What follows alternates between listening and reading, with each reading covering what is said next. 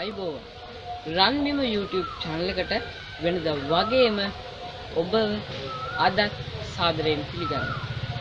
ඉතින් අ, අද ඔයාලට මේ වීඩියෝ එකේ පේනවා වගේ ඉතින් ඔයාලට ඔයාලම හිතන්න මේ වීඩියෝ එකේ පේන නාරංගහට කොච්චරක් විතර වයසක්ද කියලා. ඇත්තටම මේ වීඩියෝ එකේ පේන නාරංගහට අවුරුදු එකක් එකහමාරකට වැඩියේ නැහැ.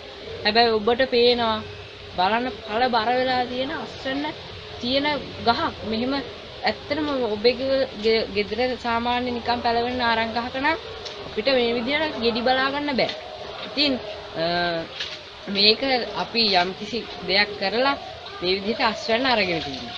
ඉතින් අදේ රහස අපි ඔයාලට කියලා දෙනවා. ඉතින් ඒ නිසා රැඳිලා ඉන්න දි- වීඩියෝ එකත් එක්ක දිගටම වීඩියෝ එක ස්කිප් නොකර බලන්න.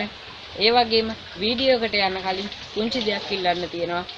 අ, ඔයා අපේ YouTube channel එක තාමත් subscribe කරලා නැත්නම් දැම්ම මේ වීඩියෝ එක පල්ලෙහා තියෙනවා රතු පාට subscribe කියලා බටන් එක. ඒ බටන් එක ක්ලික් කරන්න. අ, ඒ වගේම අ, ඊට එහා පැත්තේ තියෙන notification bell icon එක ක්ලික් කරන්න. එතකොට අපි මේ වගේ වීඩියෝ එකක් දාපු ගමන් ඔයා ළඟට notification ගෙන ගන්න හැකියාව තියෙනවා. අපි වැඩි කතා නැතුව වීඩියෝ එකට ගිහිල්ලා බලමු කොහොමද මේ වගේ අවුරුද්දෙන් ගෙඩියෙන නාරංගහ දෙහිගහ විශේෂයෙන් මේ ඕනම ගහ අ, නාරං දෙහි වර්ග නෙවෙයි peer ජම්බු ඕනම අත්තක් අපිට පැල කරගන්න පුළුවන්. හරි. අපි වැඩි කතා නැතුව වීඩියෝ එකට ගිහිල්ලා බලමු. හරි ඉතින් අපි බලමු කොහොමද මේ වැඩේ කරගන්නේ කියලා. හරි ඉතින් මං ඉස්සෙල්ලම ඔයාලට අර වීඩියෝ එකේ පෙන්නපු අ, නාරං ගහෙන්ම අත්තක් කපාගෙන ආවා මට ලේසි නිසා. ඉතින් ඉස්සෙල්ලම අපි කරන්න ඕනේ මේ වගේ ඔයාට අ, මතක් කරන්න දෙයක් තියෙනවා මේ මේ වගේ අත්තක් ගන්නකොට අනිවාර්යෙන් හොන්දටම ගෙඩි හැදෙන කිසිම වා- වාරයක් න- මේ අ, පළ නොදර නැත් පළ දෙන්නේ නැතුව ඉන්න ගහක් ගන්න එපා. ඒ කියන්නේ හොඳට හැම වාරයකම හොඳ අස්වැන්නක් දෙන අ, දෙහි ගහකින් අත්තක් ගත්තොත් ඔයාලට මේ වැඩේ ගොඩාක් සාර්ථක කරගන්න පුළුවන්.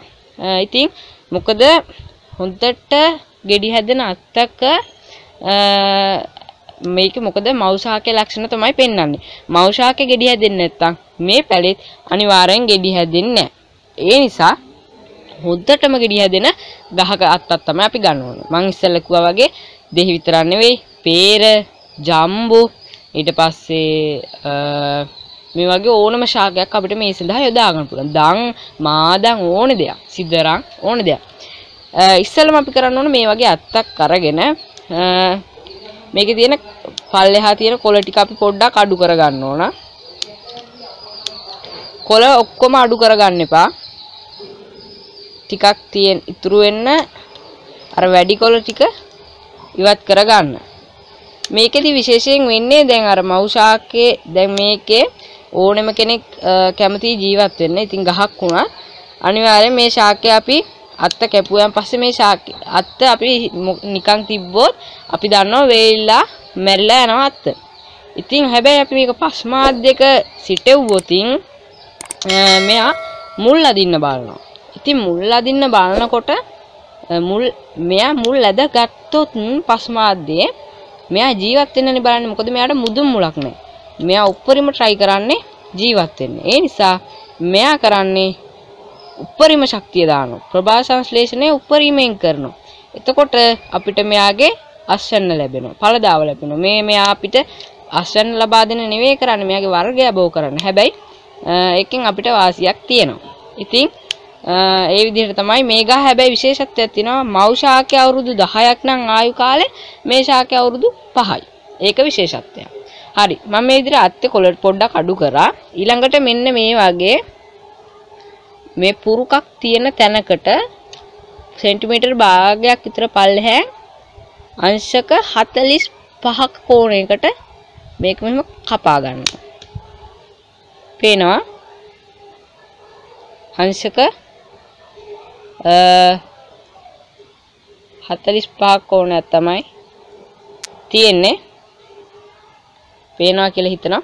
ඉතින් මේක ඊට පස්සේ අපිට ඕන වෙනවා අ, අපිට පුළුවන් හොඳම ස්වභාවික හෝමෝනයක් තමයි කෝමාරිකා කියලා කියන්නේ කෝමාරිකා කෑල්ලක් අනිවාර්යෙන් ගෙදර තියෙනවා නම් යොදා ගන්න. එහෙම නැත්නම් අපිට පුළුවන් අඟුරු ඉවත් කරන දර අඟුරු ටිකක් එකතු කරලා වතුර පොඩ්ඩක් එකතු කරලා බ්ලෙන්ඩර් කරලා පොඩි දියරයක් හදාගන්න. එහෙම නැත්නම් වෙනද පොලේ අපිට මිලට ගන්න තියෙනවා මේ විදිහට අතු මුල් අද්දවන හෝමෝන. ඉතින් මල් ළඟ තියෙන මේ රැපිඩ් රූට් කියන වර්ගය ඔයාලට මේ පේනවා විදිහට පවුඩර් එකක් තමයි තියෙන්නේ. මේක පවුඩර් විදිහට තියෙනවා, ජෙල් විදිහට තියෙනවා ඕන විදිහකින් ඔයාලට ගන්න පුළුවන්. ඉස්සල්ම අපි මේ වගේ බඳුනකට බඳුනක් පුරවගෙන අපිට පුළුවන් කොම්පෝස් කොටස් එකයි වැලි කොටස් එකයි මතු පිටපස් කොටස් එකකින් මේක පුරවලා ඊට පස්සේ අපි මේ විදිහට කෝමාරිකා ජෙල් එක අරගෙන මේ අංශක අනිවාර්යෙන් අංශක 45ට තියෙන්න ඕන. ඊට පස්සේ මේ කෝමාරිකා ජෙල් එකේ මේක හොඳට අපි තවරන්න ඕන. ටිකක් අඟලක් විතර හොඳට මේ පුරුකක් තියෙන තැනකින් කපා ගන්න ඕන එකත් අනිවාර්යයි. විදිහට හොඳට තවරන්න. කෝමාරිකා ජෙල් විතරක් තිබුණාම ඇති. එහෙම නැත්නම් අර අඟුරු ආලේපනය තවරන්න.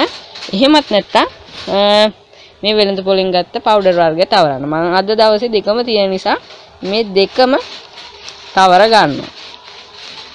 මේ විදිහට ඊට පස්සේ මේ බඳුන අපි මේක සිටවන්න කලින් මේකට වතුර ටිකක් දාලා තෙම්ම ගන්න ඕන. මම දැන් ඒක කරගෙන තියෙන්නේ.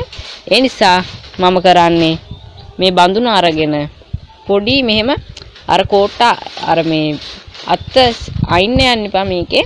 එහෙම වුණොත් ඒකේ ශාක සෛල වලට හානි වෙනවා. ඒ නිසා මෙහෙම සිදුරක් හදලා මේ අත්ත අපිට පුළුවන් සිටව ගන්න. මං අංශක 45ට මේ අත්ත කපාගත්ත හේතුව තමයි ශාකයක වැඩියෙන් මුල් වර්ධනය වෙනවා අංශක 45ට කැපුවාම. මොකද විශාල ඉඩ ප්‍රමාණයක් ඒ අංශක 45 ප්‍රමාණයට හසු වන නිසා. ඉතින් මේ විදිහට මං අද අත්ත පැල කරගත්තා. ඊට පස්සේ දැන් මේකට වතුර දාන්නන් පස්සේ සිටවල ඉවරලා සිටවන්න කලින් තමයි වතුර දාන්න ඕන. ඊළඟට මෙහෙම පොලිතින් එකක් අරගෙන පොත් වලට ඉටි කවර දාන මේකේ මේ විදිහට උඩින් රෙදි පටි කෑල්ලකින් ගැට ගසා ගන්න. එහෙම නැත්නම් මොහොකින් හරි සීල් කරගන්න හොඳට. ඊට පස්සේ අපි කරන්නේ මේක මේ අත්තට මෙහෙම දාලා මේ විදිහට දාලා මේ වගේ රෙදි පටි කැබැල්ලකින් මේ විදිහට ගැට ගසා ගන්නවා.